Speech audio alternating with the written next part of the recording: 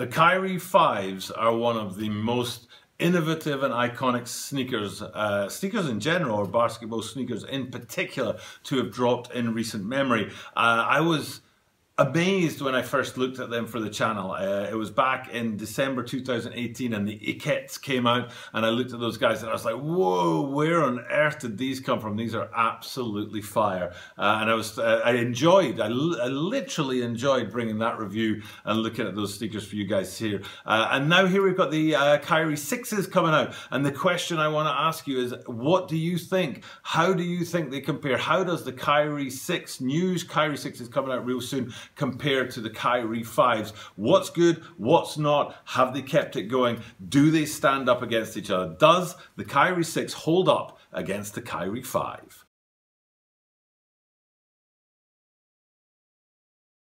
This is a Tokyo Butter 23 sneaker channel. Tokyo Butter 23 sneaker channel There's is my Nichi Absurino day, my Nichi Media Kurosai. And every single day I bring you content from Tokyo, Japan about upcoming sneaker releases, sneaker news and sneaker reviews. And today we're looking at that upcoming release of the Nike Kyrie 6s, the uh, the next iteration in the Kyrie line. Um, and uh, and what we need to, to do is to think about that in terms of the Kyrie 5s. It's very important to me that we look at the Kyrie 5s and understand the differences between the 5s and the sixes, and I want to do that using those Ikhets that I talked about because it was just such an iconic sneaker, and I and I, I just love it so much. And you can really see the detailing and the innovative design on uh, on that Ikhet, which is surely behind me here right now. And it's comparing that to the sixes and seeing what the differences are, and seeing where the strengths and the weaknesses are in the upcoming uh, Kyrie sixes. But before we do that, this is a YouTube channel. I do need to grow the channel, so please do hit the subscribe button down below and help the channel to grow. Uh, if you've already done so, thank you very much. If you're about to do so, I'd appreciate it very much. And as I am here in Tokyo, Japan, I do see at the start of every single one of my videos,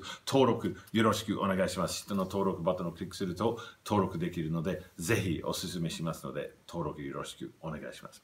Uh, Alright, so let's have a look at these guys and see what it is about the sixes uh, that are great things that they've brought forward from the fives and what they should have brought and they didn't. Uh, what things on the sixes uh, are not as good as the fives um, and try and work out whether or not this is a step forward on the Kyrie line. Um, and the first place I want to start, I want to start high and work my way down low. So we're going to start up on the tongue there where you've got the Kyrie Irving um, branding on the tongue there uh, in white on that black background. Uh, very simple branding, uh, very distinct, uh, as many people know, and it's a, a, just a very simple piece of branding. But as you come down and onto the midfoot strap, uh, you can see some really innovative branding with the six on there. It's Roman numerals, which is a V with the one on the uh, right side as you read it, which is V plus one, five 5 plus 1 for the 6. Um, and, uh, and it's cool the way that that's sort of 3D, three-dimensional on that midfoot strap there and it kind of pops off of the sneaker. Although being in black on black is a bit harder to see. It'll be interesting to see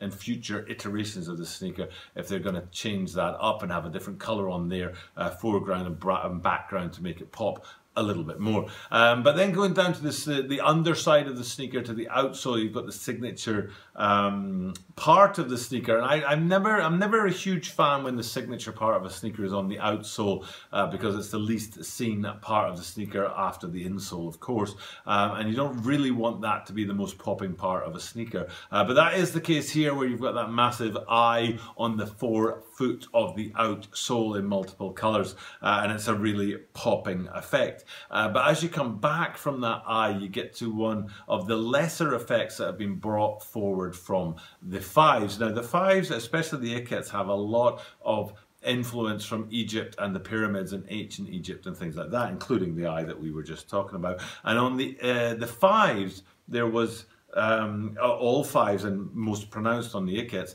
uh, that kind of jagged pyramid effect across the lacing system was one of the standout features. And you can see that again on the heel section of the outsole, um, that you've got that kind of jagged effect, that pyramid or wave effect on there. And then uh, and if you stay in that heel section but wrap around to the midsole, uh, you can also see again there that kind of outline of those pyramids or those waves. But they're very subtle and they're very nondescript and they're not very in your face. and that I think is a down, uh, a letdown on these sneakers. The way that the, the flamboyance and the popping uh, triangles and pyramids and, and wave effect of the Kyrie Irving fives has been lost on the sixes and it's now much more subtle and much more toned down. And that effect is uh, very prominent on the back of the sneaker on the heel where you've got again that eye branding there but because it's a black eye on black background on a black upper, it's really, really lost. And uh, like I said, with the six branding on the midfoot strap, uh, it might be that that branding looks different if you can get more colors in there and you get more pop in between the background and the foreground. But because it's black on black on black uh, it really is dulled down and it loses its effect. And that really is the signature of this sneaker all over. Uh, is to me it's just a very standard looking basketball sneaker there's nothing special about it nothing that really jumps out at you and says wow that's amazing what an iconic step forward if you think of the LeBron 17s and the upper on there and especially the sleek look across the lacing system it's a whole uh, different take on the basketball sneaker. Um, but for me, these Kyrie 6s are very, very similar to Kobe 4, Pro, Protro 4s. Um, and uh, that is most evident on the toe box where you can see that the toe box and the midfoot are very different materials and you get that contrast between the two. Um, and uh, but being black and black there's not really that much of a contrast but they are very different materials. And it's a it's it's a i don't know if it's a signature of the Protro 4s but it's one of the features of the Protro 4s that they have that different material on the toe box and the midfoot maybe i've put up a picture behind me here of either the undefeateds or the black mambas which dropped recently. And to be honest these these sixes look like they're more of a um, a variant of the Protro 4s than they are uh, a development of the Kyrie fives. Um, so I'm kind of disappointed in these um, these sixes. I don't think that um, the things that made the five stand out have been sort of dulled down, and then there's nothing that pops the sixes forward. So it's um, a much simpler shoe, a much more basic basketball shoe. Um, I know that they do have that embroidered swoosh on the side, which some people are, are talking up as an innovative change between the fives and the sixes. I'm not really seeing it myself, to be honest. It's not um, it's not something that really grabs my attention and says, "Wow, check that out! That's a real uh, a real change on there. So, uh, so for me, it's a bit of a letdown. I'm afraid. I'm afraid the Kyrie sixes aren't what I would have hoped. Uh, I remember the Kyrie five Chinese New Year's, full of color and those uh, those that that strapping across the um, the lacing system to give that kind of jagged wave or pyramid effect uh, was really highlighted by the colors of the Chinese New Year and of course those ikhets that I was talking about. Um, also a cracking looking colorway uh, with that purple uh, outsole. I can still remember them very vividly. I don't remember many sneakers. I've reviewed more than 350 sneakers for the channel, uh, but I don't remember many of the sneakers as vividly as, as I remember the Kyrie uh, 5 Ikhets. They were just a really cracking sneaker and everything about them was popping and on point. point and that's why I'm a little disappointed in the sixes because I don't think there's much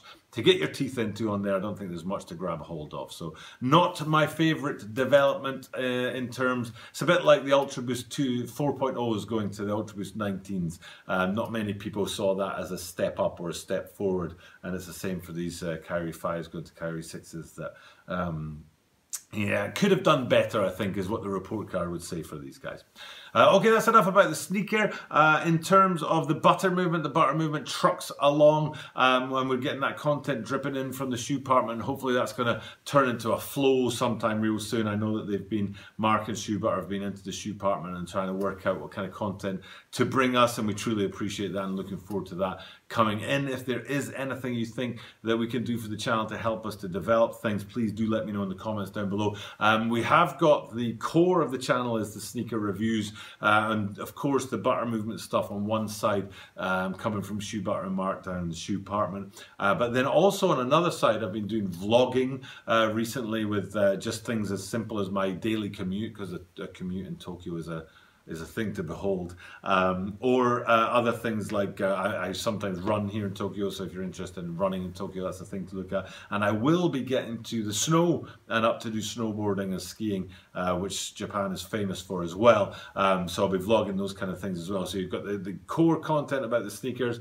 the shoe butter stuff, and then the vlogging stuff, which keeps things a bit more interesting and a bit more innovative. But if you, the viewer out there, have things that you can recommend or suggest to help the channel to grow, uh, things that you would like to see uh, dropped content here at Tokyo Butter 23 Sneaker channel, please do let me know in the comments down below and I'll try to get that done for you.